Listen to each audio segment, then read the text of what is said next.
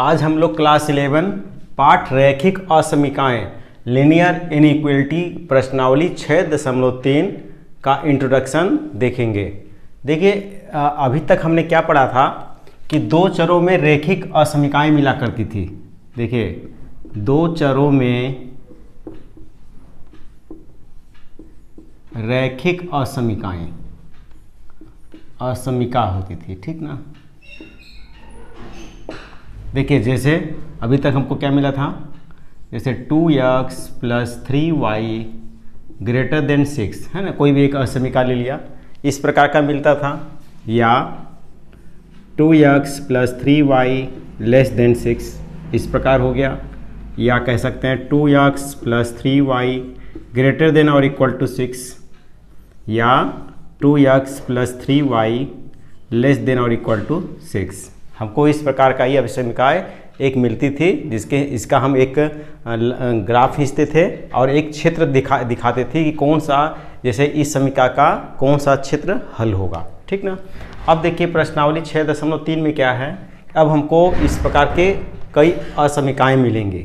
ठीक ना? देखिए एक असमिका ये ये और ये। तो इस प्रकार ये कह सकते हैं कि अब देखिए हमको असमिकाओं का निकाय मिलेगा। मिकाओं का निकाय है ये पूरा। ठीक ना? इसको बोलते हैं सिस्टम ऑफ़ इनइक्वलिटी ठीक ना? तो इसमें हमको कहीं दो मिलेगा, कहीं तीन, चार, पाँच भी असमिकाएँ मिलेंगी, जिनको हम ग्राफ खींचेंगे और उसमें एक ऐसा उभयनिष्ठ मतलब ऐसे क्षेत्र को देखेंगे, जिसमें कोई भी अगर बिंदु ले लें तो वो इन तीनों असमिकाओं को संतुष्ट करेगा। ठीक ना? तो हमको एक ऐसा क्षेत्र ज्ञात करना है। तो देखिए इसको हल कैसे करते हैं? एक एक करके हम लोग हल करेंगे इसको। ठीक ना? तो देखिए, देख, करते हैं इसको।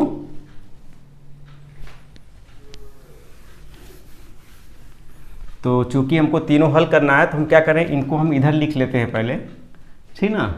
फिर एक एक करके असमिकाओं को लेंगे और इसको हल करेंगे। ये लिख लिया। देखिए, अब लिखेंगे पहली असमिका से। ठीक ना? असमिका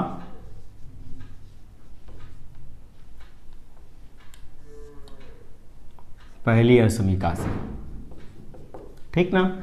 तो पहला लिख लेते हैं इसको। लिख लेते हैं five x plus four y less than और इक्वल टू फोर्टी तो अगर हम इसको हल करेंगे तो सबसे पहले इसको हम बराबर कर लेंगे, ठीक ना? एक लाइन हमको मिलेगा ग्राफ पर खींचने के लिए।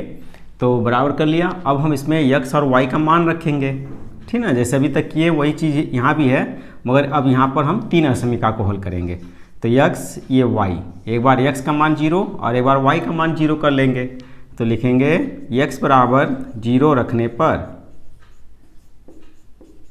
तो देखिए, यहाँ ज़ीरो रखेंगे तो फाइव गुड़े ज़ीरो प्लस फोर वाई बराबर दस। तो ये ज़ीरो हो गया। ये आया, देखिए वाई का मान कितना आ गया? ये चालीस है। तो ये हो गया चालीस बटे चार। तो ये हो गया दस। तो y का मान 10 आ गया। तो ज़ीरो पर ये 10 आ गया। इसी प्रकार y बराबर ज़ीरो रखने पर देखते हैं। रखने पर। तो ये हो जाएगा पाँच यक्स प्लस चार गुड़े शून्य बराबर चालीस। ये पद तो समाप्त हो गया। तो ये आया पाँच यक्स बराबर चालीस। तो इससे यक्स का मान कितना आ गया? पाँच अट्ठे चालीस। तो ये आ गया, यक्स का मान आठ आ गया। तो यहाँ पर हम आठ लिख लेते हैं, ये ज़ीरो पर। ठीक ना? तो इससे हमको ये मिल गया। अब हम इस पर ग्राफ ही देखेंगे। तो देखिए ग्राफ खींच लेते हैं हम यहाँ पर। और ये y बराबर दस पर लिखा है। तो ये रहा यक्स अक्ष ये हो गया। और ये y अक्ष। ठीक ना?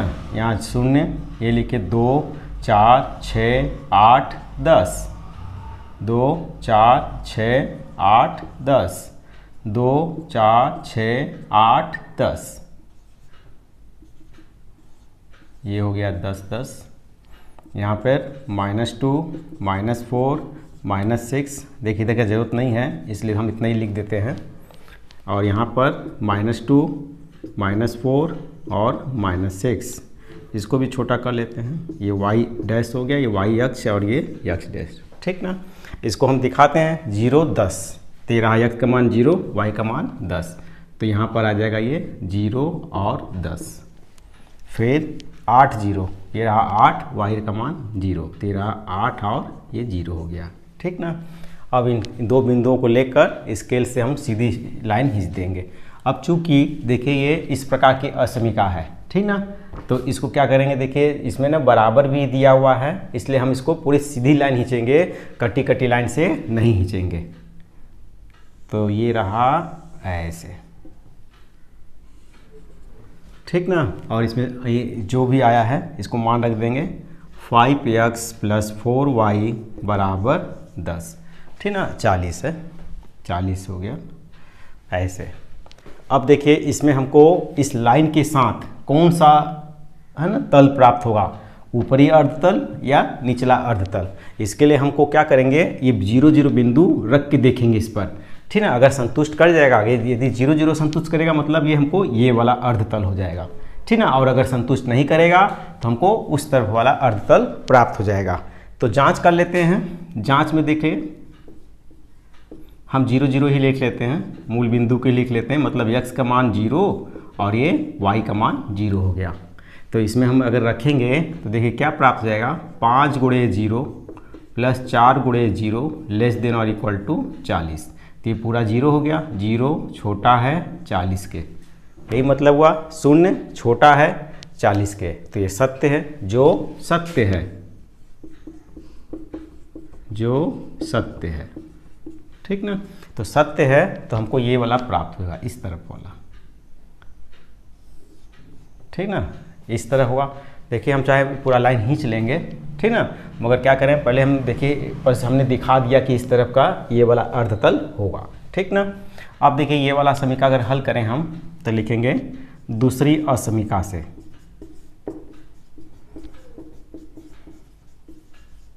दूसरी असमिका से। क्या है? X is greater than equal to two तो जाएगा यक्स बराबर दो हो जाएगा। ठीक ना? अब देखिए यक्स बराबर दो का मतलब होता है कि वाई का कोई भी मान रखिए minus one, minus two, minus three, one, two, three रखिए, आपको यक्स का मान हमेशा दो आएगा। तो जब हम इसका देखिए ग्राफ खींचेंगे तो यक्स बराबर दो पर यहाँ पर ऐसे खींचेंगे। ये वाला, ठीक ना? ये हो गया। तो ये क्या हो गया? यक्स बराबर ये दो पर हो गया। ठीक ना? यक्स बराबर दो का लाइन इस प्रकार का खींचा जाता है। अब देखिए, इसमें बोल रहा है कि बड़ा है बराबर है दो से। अगर हम यहाँ पर जाँच करना चाहें तो अगर ज़ीरो ज़ीरो रखें, देखिए ज़ीरो ज़ीरो ये वाला रखेंगे तो यहाँ पर देखिए ज़ीरो ज़ीरो रखने पर एक्स का मान ज़ीरो ग्रेटर देन और इक्वल टू टू ठीक ना? वाई का मान तो है नहीं रखने के लिए तो केवल एक्स का ही मान रख लेते हैं। तो वाई क्या बोला ज़ीरो, दो से बड़ा है, जो असत्य है। तो हमको क्या प्राप्त होगा? हमको ये वाला अर्धतल प्राप्त होगा। ठीक ना? ये वाला अर्धतल प्राप्त हो जाएगा। अब तीसरी असमिका देखते हैं। देखिए, इस तरह आगे के प्रश्नों में चार असमिका, पाँच असमिका भी दे रखा है। उनको हल करके एक उभयनिष्ठ क्षेत्र हमको प्राप्त करना है। तीसरी असमिका से। तीसरी असमिका है y ग्रेटर देन और इक्वल टू तीन। तो जब हम इसको हल करेंगे, देखिए, y बराबर तीन करके करेंगे। तो देखिए y का मान दो, चार, यहाँ पर आएगा हमको। ठीक ना? तो यहाँ पर हम एक लाइन खींच लेते हैं ऐसे यक्ष अक्ष के समानांतर इस प्रकार का लाइन खींचेंगे तो ये हमारा हो जाएगा y बराबर तीन पर। ठीक ना? अगर हम इसमें जाँच करें कि ज़ीरो ज़ीरो रख के देख लेते हैं यहाँ पर। देखिए, ज़ीरो ज़ीरो रख के जाँच करेंगे तो यक्ष का मान तो नहीं है, y का ही मान रखेंगे तो जो y greater than or equal to three ठीक ना? तो ज़ीरो तीन से बड़ा तो नहीं है तो लिखेंगे जो असत्य है। यहाँ भी देखिए, जो असत्य है। ठीक ना? तो असत्य है तो हमको इस तरफ़ नहीं, इस तरफ़ नहीं मिलेगा, हमको उस तरफ़ का मिलेगा। तो देखिए, हमको ये इस प्रकार का मिलेगा। ठीक ना? और जब इसका हम उभयनिष्ठ बिंदु लिखेंगे तो देखिए ये वाला देखिए, इस वाले से हमको ये उभयनिष्ठ प्राप्त हो रहा है, ये वाला। ठीक ना? और इस वाले रेखा से, देखिए हमको ये उभयनिष्ठ, ये मिल रहा है। ठीक ना? और इस वाले से ये प्राप्त हो रहा है। तो ये उभयनिष्ठ क्षेत्र हमको ये प्राप्त हो गया। ठीक ना? तो देखिए, इसी प्रकार के सभी प्रश्न हमको हल कर रहे हैं।